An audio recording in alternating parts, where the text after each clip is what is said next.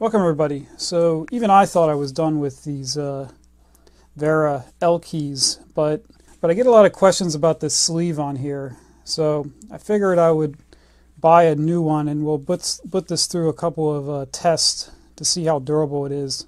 So the first comment I get a lot about these sleeves is that they're too wide to fit into a counterbore hole and they're afraid that this would interfere possibly with that.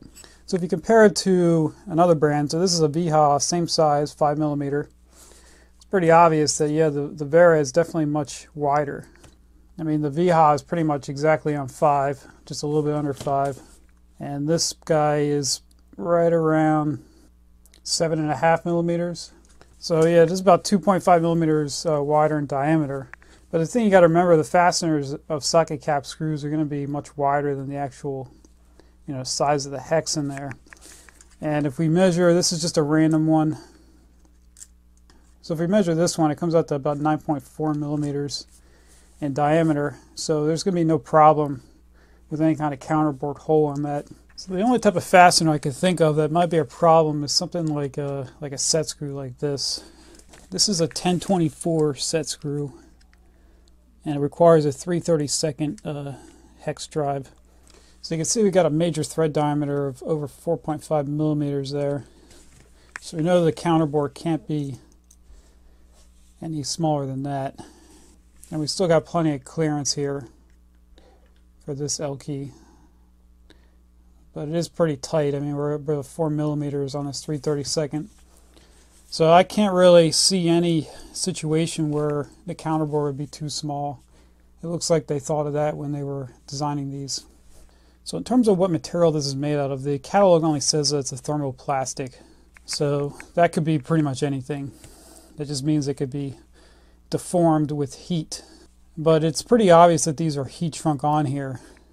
But considering how hard this is, it's probably a PVC based plastic, I'm guessing. But I did get one person tell me that they um, were starting to see these degrade uh, over time just from the chemicals they were using it around. So we'll go ahead and put some solvents on here and see how that holds up. So the first thing I think I'll check here is uh, whether or not this is, uh, how flammable this stuff is.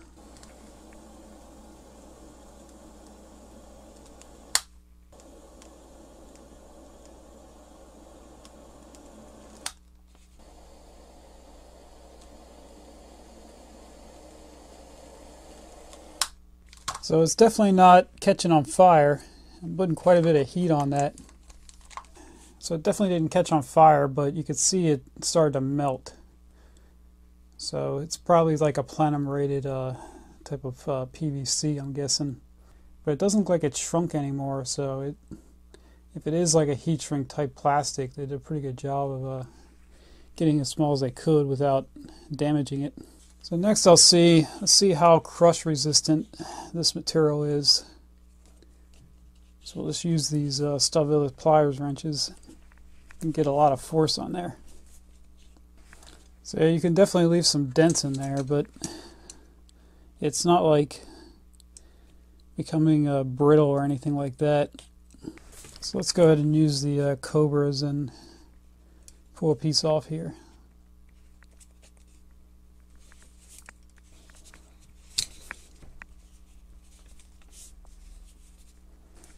Alright, so it's definitely not very thick material, as you can see. I was thinking at one time there might be like a step in here um, that they use as kind of a guide to mold it, but it looks like they don't do that. So,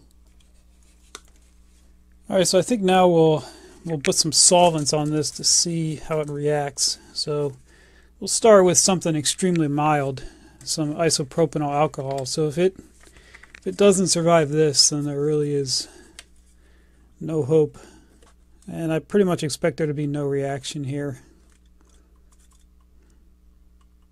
So we'll put it right on the right on the text here in case maybe that ink is reactive with something. So as expected, the uh, alcohol didn't do anything. So we'll go to something a little bit stronger now. This this is acetone. So a lot of plastic will withstand acetone. But there are some that will basically dissolve right in it. So we'll let that sit there for a little bit and uh, see if it has any reaction. Alright, so I've had this uh, soaking for a little bit. I did put a piece of plastic over it to uh, prevent it from evaporating, and I'm not really seeing too much. It looks like it may be attacking some of this ink, this black ink a little bit, but I mean this stuff is still pretty, it's not very soft, so I think uh, acetone is okay. It's looking like it's not doing any damage. Alright, so the next thing I want to try is going to be a little bit unusual, but I'm going to try some uh, soybean-based paint stripper because I at one time I poured this stuff on a piece of styrofoam and it kind of ate through it almost instantly, kind of like acid. So I don't know what would be in there to cause that, but let's see if it has any reaction to this piece of plastic here. So we'll go ahead and let that sit and we'll come back in a little bit and see if, if it did any damage. Alright, we've been letting this soak for a while and I'm not seeing any any type of damage at all on this, so it definitely survived that. So it probably doesn't have any any type of styrene in it if uh, this stuff didn't attack it at all. All right, so next thing I'm going to try is some uh, some oven cleaner.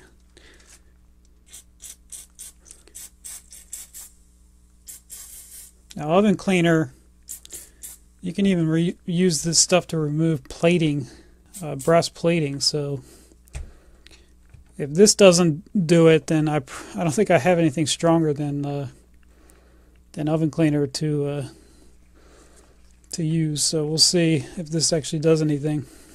All right. Well, the uh, the oven cleaner didn't do nothing on this either. So, an oven cleaner I think will actually dissolve uh, bone, and it didn't do anything to this. So um, now there there's there is got to be something that will react with this. Um, I'm thinking that it must be something pretty specialized and pretty toxic that would uh, cause this to degrade. Um, if you guys can think of anything, or if you have any experience with these um, actually breaking down with certain solvents you use, just uh, leave a comment and maybe we'll do a follow up on that. But what I think might be happening is when people complain about this going away, I think it just may be wear from, uh, you know, debris and sand and stuff as you use it, and it's actually wearing down past the you know point where this uh, this text is embossed. So if we take some uh, sandpaper and just kind of you know simulate some wear on here. This is just 800 grit. It's very very fine.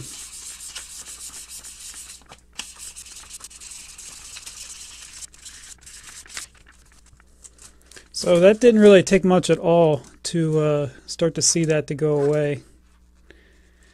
So that's that's that text is a very very shallow. So I could see if you're using this every day that that would wear away pretty fast.